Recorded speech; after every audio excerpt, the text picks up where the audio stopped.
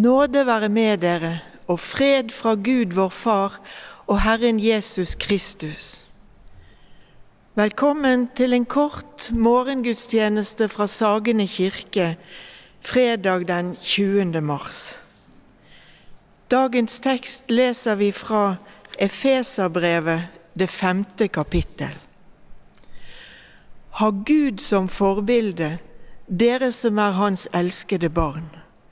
Lev i kjærlighet, slik Kristus elsket oss og ga seg selv for oss som en offergave, en velluktende duft for Gud.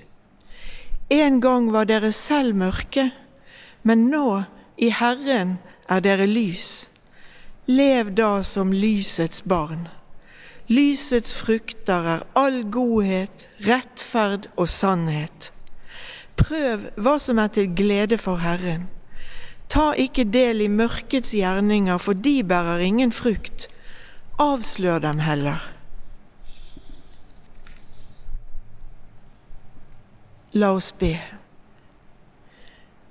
Kjære Gud, du som har skapt oss i ditt bilde og har lovet å være nær oss alle dager, også når dagene oppleves krevende og vanskelige.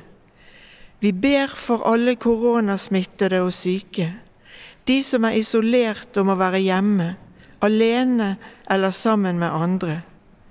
Vi takker og ber for alle helsearbeidere og alle som er med på å holde storsamfunnet og lokalsamfunnet i gang. Kom med din trøst til alle som er engstelige og redde. Hold din vernende hånd over oss og hele din verden. Herre, miskunne deg over oss.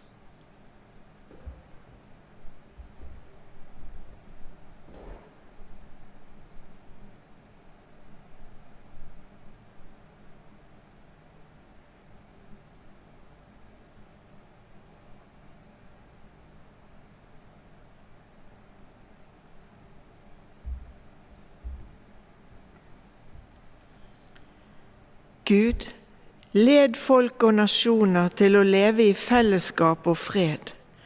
Bevar kong Harald og den kongelige familie. Gi visdom og mot til alle som har lederansvar i kirke og samfunn. Fri oss alle fra misunnelse og mistenksomhet, og hjelp oss til å leve i forsoning og fred. Vår Far i himmelen La navnet ditt helliges, la riket ditt komme. La viljen din skje på jorden slik som i himmelen.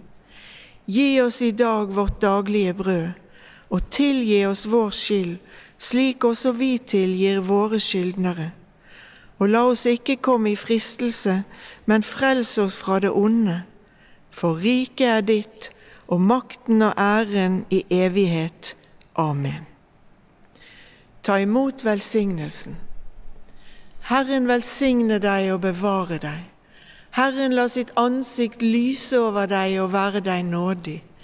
Herren løfte sitt åsyn på deg og gi deg fred. Amen. Og la oss avslutte med å synge et salmevers til trøst og oppmuntring.